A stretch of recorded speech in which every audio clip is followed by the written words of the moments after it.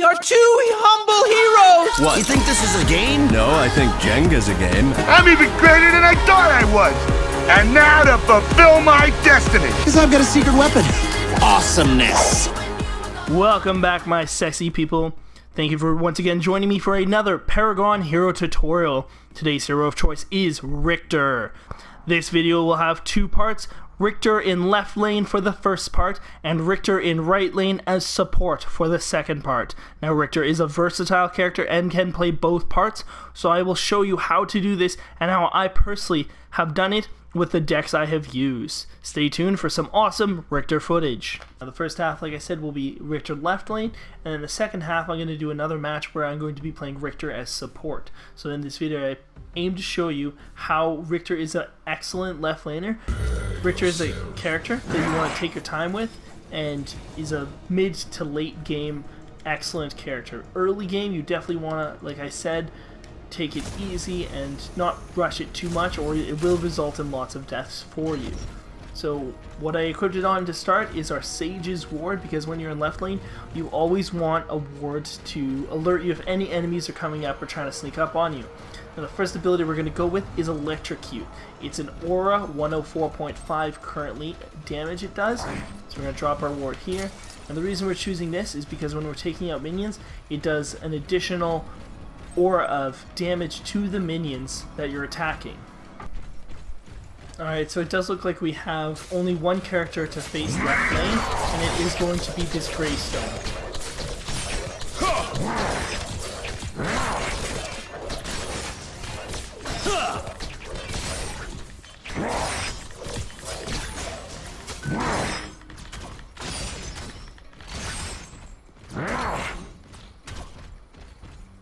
So what it's looking like is Greystone doesn't look too anxious to get into battle and start a head-on combat with me, and I feel the same way about him. I'm going to try and keep him at distance, not attack him, because in a battle, Riktor versus Greystone, Greystone will most likely always win. He does have a much better attack, but Riktor is still going to put up one hell of a fight for him.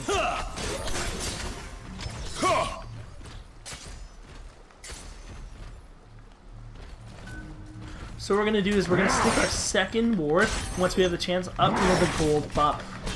First blood.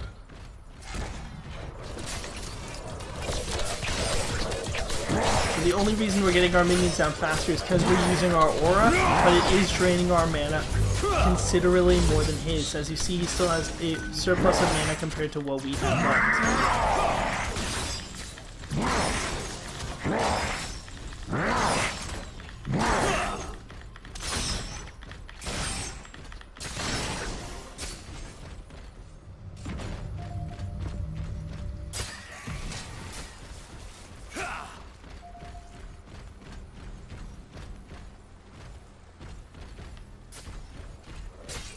So again, like I said, we don't want to push too deep into his territory because it will end bad for us. As you see, there's a Mortgage running up. So we did give her a quick stun. And what we're going to do is we're going to retreat.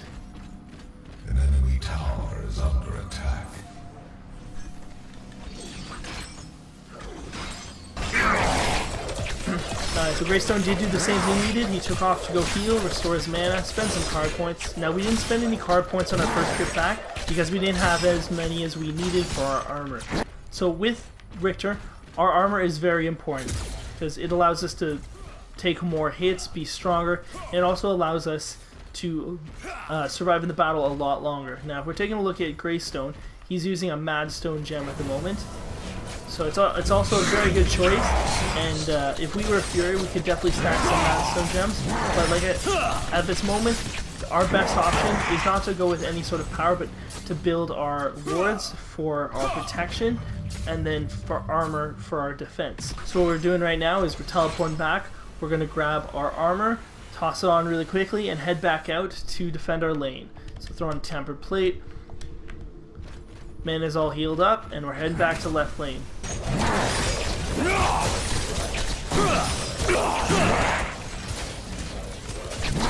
So what we want to do is we don't want to use our chain pull yet, because we want to wait till we have our ultimate. Now once we have our ultimate, we're going to be able to stun him inside the tower.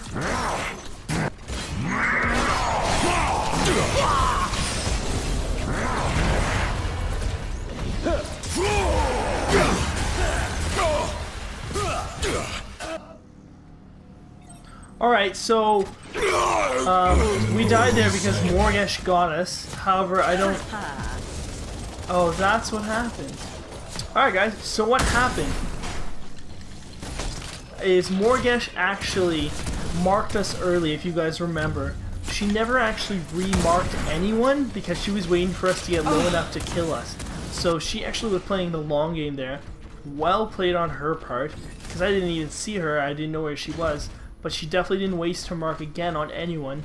Uh, and use it on us to be able to take that kill. Alright, so we're at 8.5 minutes, almost 9 minutes here. Uh, not looking too bad. Lost the first tower, but that's alright. Like I said, I usually like to wait as long as possible, but, you know, almost 9 minutes is a really good time for losing left lane first tower. So I'm going to drop a ward. The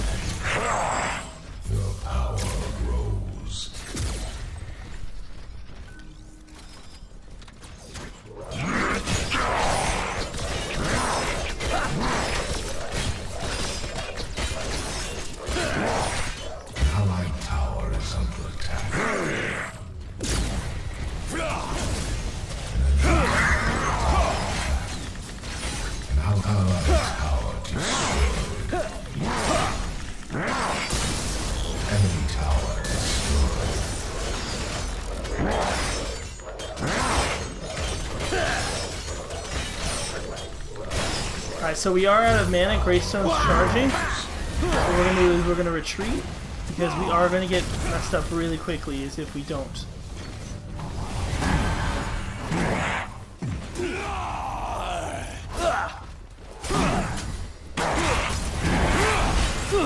So because we do have one mobility, we are really slow, and that causes us to fall slow enough for them to actually catch up to us and end up killing us. Now, again, two deaths, I'm still not too worried about.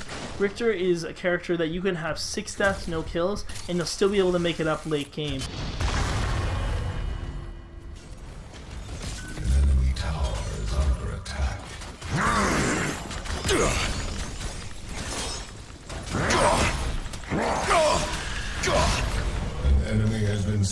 If you take a look at our mini-map, we see Morgesh has gone from mid lane. Now, where would Morgesh go? Most likely over into our lane to try and kill us.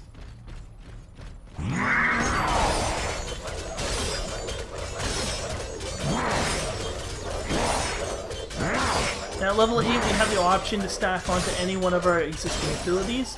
What I always put the most into is our electrocute because it just builds more and more power for it. So what we're gonna do is we're gonna actually head up here and take the gold buff before he has a chance to come back and grab it.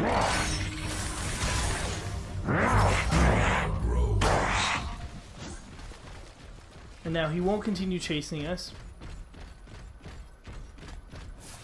because he's got minions to deal with. So what we're gonna do is we're gonna teleport back. We still have nine points to spend.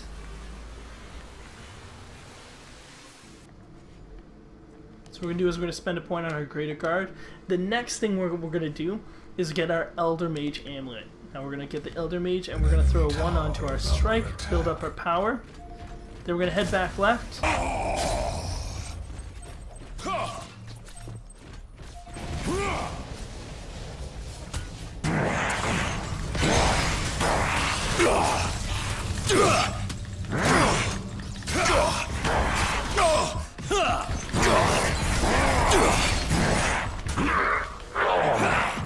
Alright, so we definitely get, did get trapped by enemies there. We almost had Riktor. We almost, my apologies, we almost had Greystone down. However, he still had his ultimate. But it looks like Feng Mao's gonna go for the kill. An ally has been slain.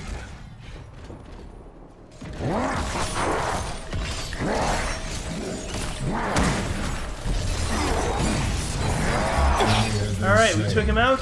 However, we're missing an enemy. Alright, so what we're gonna do is we're gonna teleport back because we have seven points to spend.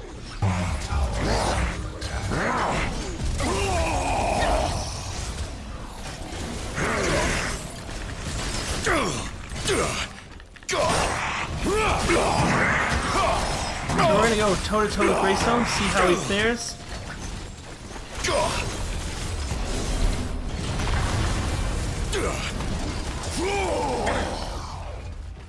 Alright, that was a good escape on his part. So we're to finish up this lesser health, and then put toss on one more, and head back out. So what we're to do, because they're coming up from behind us, we're actually going to escape through their tower, and run across the map. Perfect. So we managed to push the lane. No interference, no worries, we got away. So guys, when you guys are running away from left lane, right lane, even like a mid lane push, you never want to run straight back because you'll always have enemies come straight up trying to get you. So what you'll want to do is you'll want to switch lanes, push left or right, run straight across the map, and then back down because they're less likely to expect it that way. So let's go bug this Serath and see if she wants to fight or not. Let's block her from attacks. Now her attack is a lot stronger, however, we have a lot of armor, so she will not be able to take us out very easily.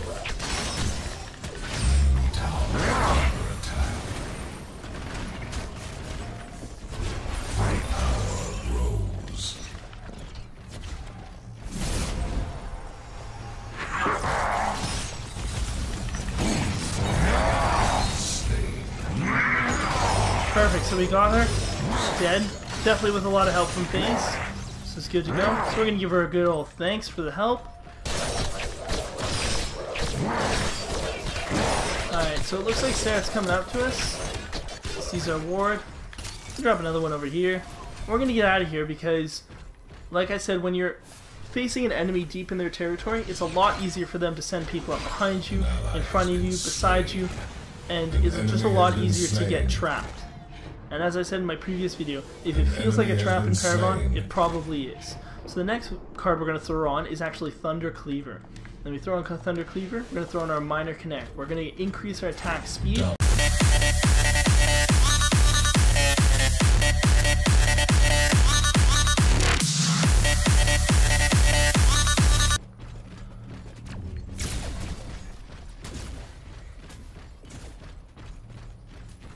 we're going to do is we're actually going to see if it's possible. Alright! Not possible, let's run.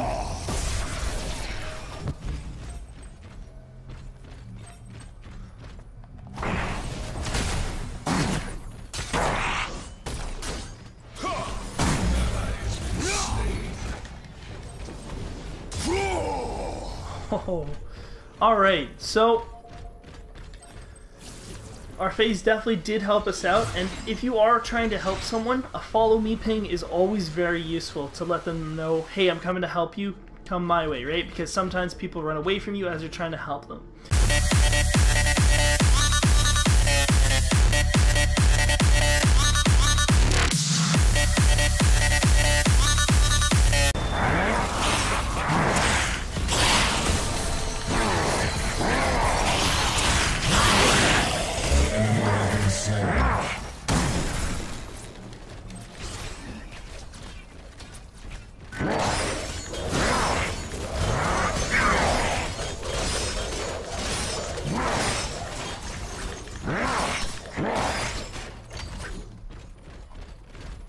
So we're gonna head back left lane, guys.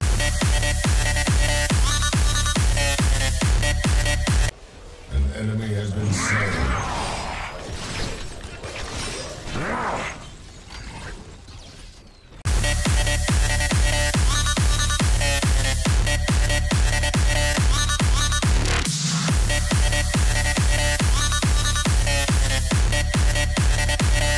So, what we're gonna do gonna do our best to actually push this tower enemy has been and inhibitor to see if we're able to get it down.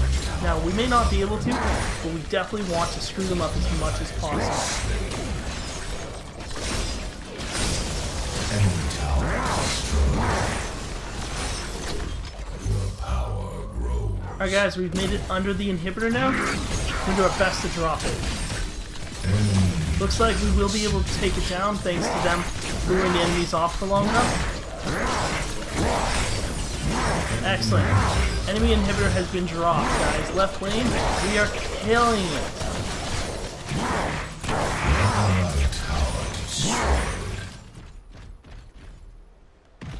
Purple buff, always great. So, what we're gonna do with this purple buff is we're gonna go kill Revenant.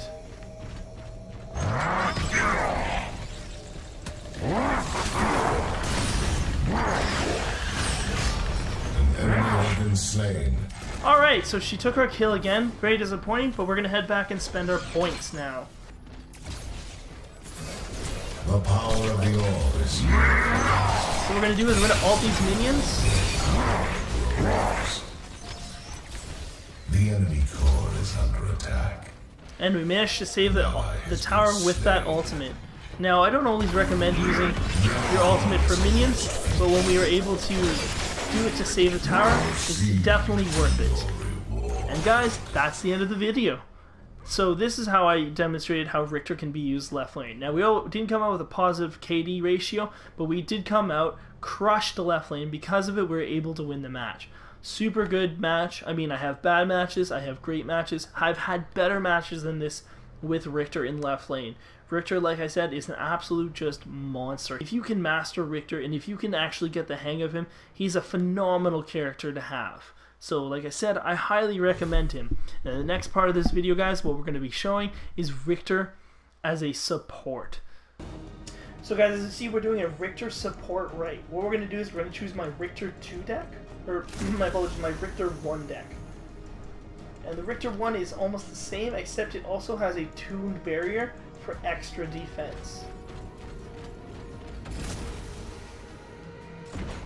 So guys, in the first half of the video, we chose our first ability to be Electrocute. This one we're going with Whiplash. That way we can pull them back, and then with Yin, she can just basically annihilate them as much as possible.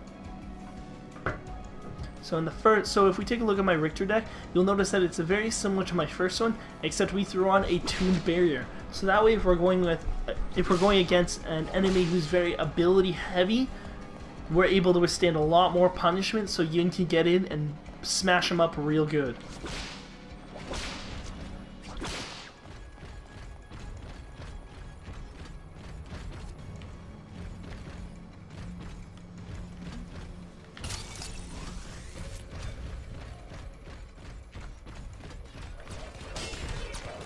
Alright, perfect. So this is going to work out well, considering we now have a Morgesh to go against.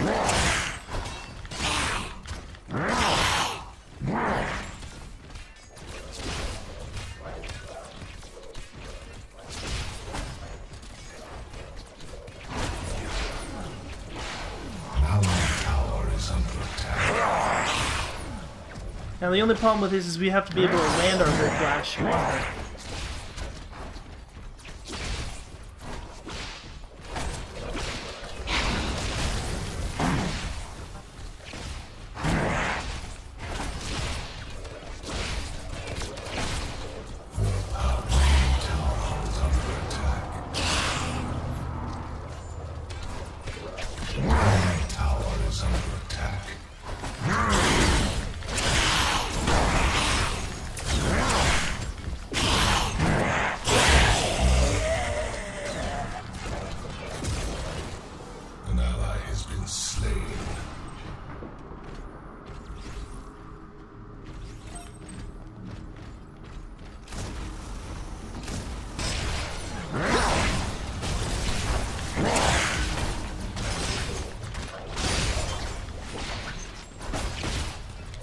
now we're going to throw in our Electrocute, just to be able to do more damage if we're able to pull our Morgesh in. So now as it's seeing, we have two enemies right, two enemies left, and one enemy mid. They don't have a jungler because we're pushing so hard, they're not able to actually have Wukong in the jungle.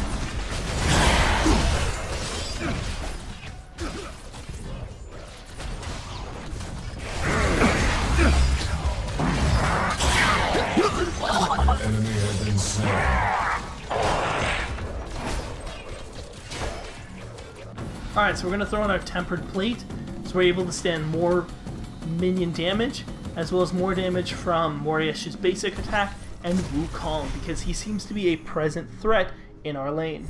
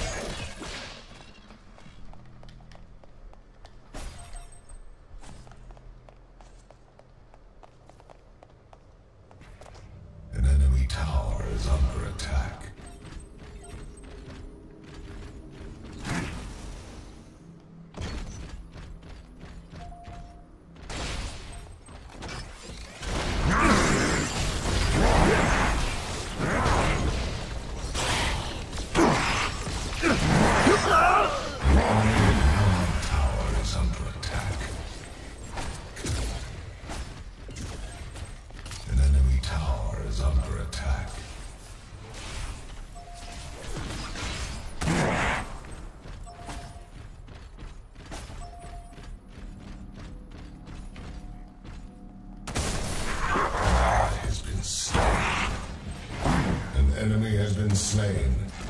An enemy tower is under attack. And see, this is exactly why I prefer Riktor over other supports, because you can play him as a support or a lane defender.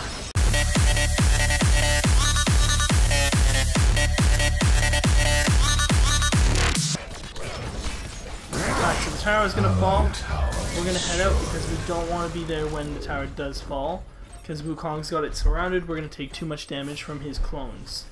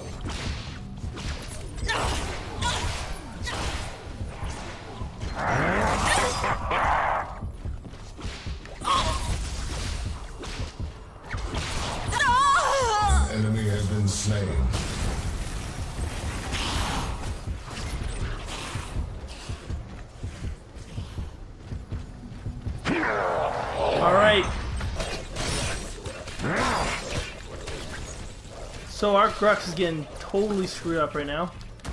Because they cap they attacked him in the jungle. An allied tower is under attack. Enemy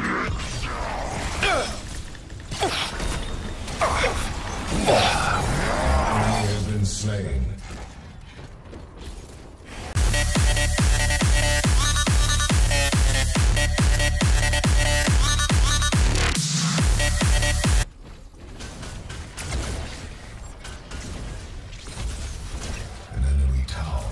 We're gonna get out of here because Morgesh is here. And we can't take on a Morgesh end phase as we have learned.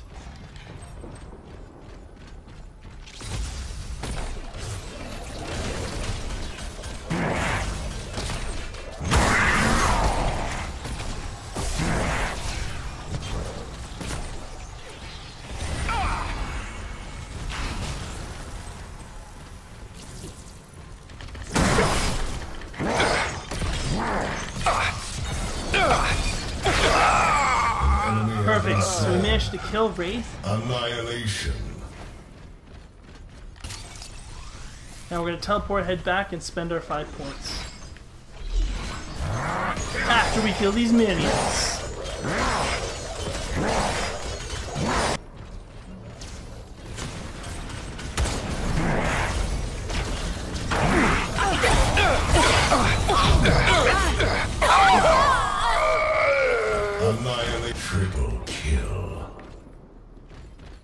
Okay, guys, that was awesome. That right there, gonna be my starting clip for the video because we just triple killed with Gideon's ultimate.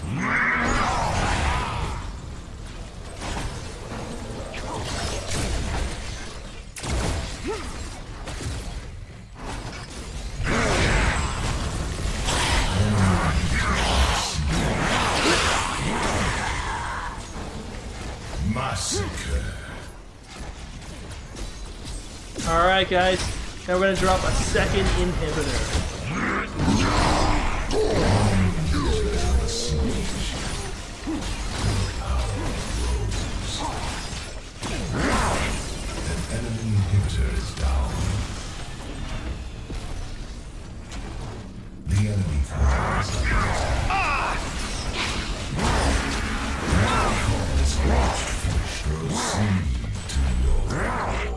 Alright guys, so that was me playing Riktor as a support. Now as you saw, the best one that came out of that was that triple kill where I ulted them in Gideon's ultimate, so they were stunned even though they're invisible and they had no chance to escape. It was an awesome combination, the Gideon and Riktor combo.